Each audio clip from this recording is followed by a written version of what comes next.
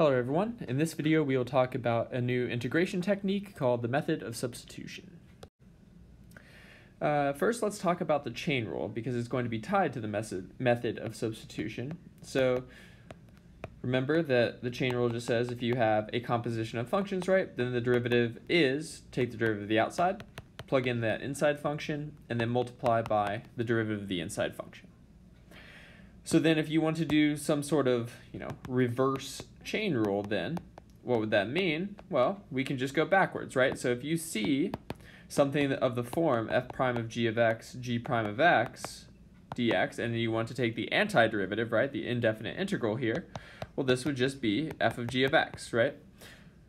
So what we're going to look at are things like these. So our substitution will be for this inside function g of x. So most people call it u, but you can call it anything, right? I mean, you could call it t, you could call it smiley face. Uh, if you're having a rough day, right, you can call it frowny face. Who cares? Um, the point is you're substituting something for this inside function. And then our du, right, because an integral should have what variable you're integrating with respect to. In this case, it would be u, because we've changed our variable from x to u. Uh, then du would be, well, take the derivative of u, so g prime of x, and then dx here. And so basically it turns this integral here into something of the form, well, integral of f prime of u du, just directly substituting in. Every time we see g of x, we're putting a u, and du for g prime of x dx is equal to f of u, oh, and on these I should have a plus c, right? Because this is the indefinite integral, I should have a family of functions. So now we'll just go through a few examples, uh, see how to identify problems where the method of substitution is going to be useful, and then figure out how to actually carry it out. All right, so let's say we stumble upon an indefinite integral like this one. So the first thing that I want you to notice here is that this has an inside function, but now that doesn't always mean that the method of substitution is going to work. So you're looking for an inside function, right? But when you do the chain rule, right, you don't just get some inside part back, you also have to multiply by the derivative of that inside, right? So you want to look for the inside function, but you also want to look for the derivative of the inside function to be showing up as well, right? So in this case, our inside, uh, just to get you used to seeing things other than u, let's just call this w, is our inside function, and that seems to be x squared minus 3, right? It's inside the square root. Well, what's, what's the derivative of w? Well, that's going to be 2x, and then, again, because we're going to be integrating back, we want to view this as like 2x dx. Um, oh, but we see that as well, right? So 2x dx is already showing up there as well. So if I substitute for this, what am I going to get? I'm actually going to get a much simpler integral. So I have the integral of 2x dx just is dw over here. And then I've got the square root of w. So suddenly I've turned this, you know, I changed my variables, and I've turned this into a very simple thing. And this is great, right? Because if I write this as w to the 1 half dw, this is just a reverse power rule, right? We can just do this in one step and not have to worry about, you know, chain rule or anything like that. And so you would get 2 thirds w to the 3 halves plus c.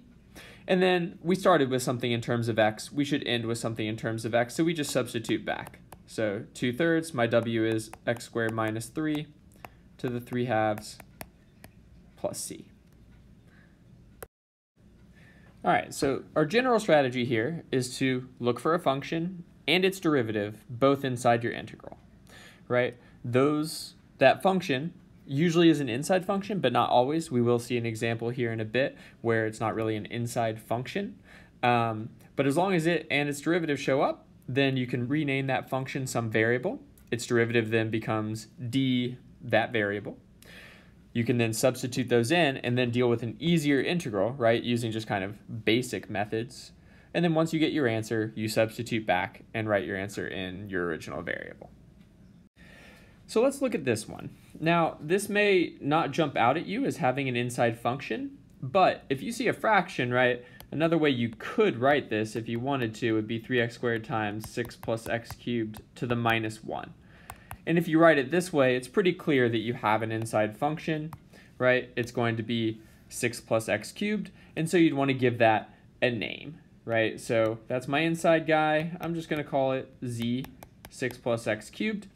And then its derivative also shows up, right?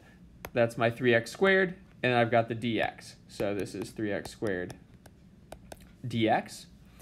And so when I rewrite this, right, my 3x squared dx, the thing underlined in blue, just becomes dz.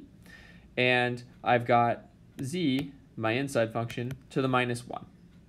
And so when I take the antiderivative here, now remember, this is not a reverse power rule 1 z to the minus 1 is just 1 over z. This, in this case, it might actually be easier to represent it this way, just to make yourself recognize the antiderivative. So this one's just going to be the natural log of the absolute value of z plus c. Uh, and then, again, we want to go back to our original variable. And so since z is 6 plus x cubed, we toss that in there. Okay? So for one more example here, before you have a little exercise on this, um, this one is maybe a little bit more challenging. And so this is one that does not really have an inside function. Your, your first instinct might be to write this as ln of x times, you know, x to the minus 1 and viewing that as an inside function. But x to the minus 1 is already something we can naturally deal with, right? Like we don't really view that as an inside function. It's just a power of x. Uh, so here, I think it can be helpful instead not to rewrite it that way, but rather to write it as the natural log of x times 1 over x dx. And then hopefully you recognize that while we don't have an inside function, we do have a function and its derivative, right? Because 1 over x is the derivative of the natural log of x. So here, you know, you could write u is the natural log of x, and then du would be 1 over x dx. And so when you rewrite this, it actually just becomes the integral of u du. Do the reverse power rule, 1 half u squared plus c, and then put it back in terms of x. So 1 half times the natural log of x, quantity squared, plus c. All right, and so for your first exercise, uh, I want you to find the indefinite integral here using the method of substitution. So we've done substitution for indefinite integrals. Now I want to talk about how to do it for definite integrals. So you might think, mm, what's really the difference, right? Because we have the, the fundamental theorem part two, which basically says indefinite integrals almost get us there, right? So if we have a definite integral, then uh, the second that we know some antiderivative big F, right, this is just going to be big F of B minus big F of A. So it seems like uh, we should be good. The, the issue is what you do with your bounds. Because once you change your variable, you change your bounds, right? So x being between 0 and 2 doesn't mean that the thing you switch it to, your inside function, is between 0 and 2. So let's look at an example. So if we have 1 from e to the pi, or from 1 to e to the pi of 1 over x cosine of the natural log of x, say. So here we do have an inside function, right? Cosine has the natural log inside it, and we're also seeing its derivative, 1 over x, showing up. So right away we should be thinking, all right, this is substitution, and you know, I'm gonna call I'm gonna call my inside function heart. All right. And uh, so we've got the natural log of x there, and so d heart is 1 over x dx.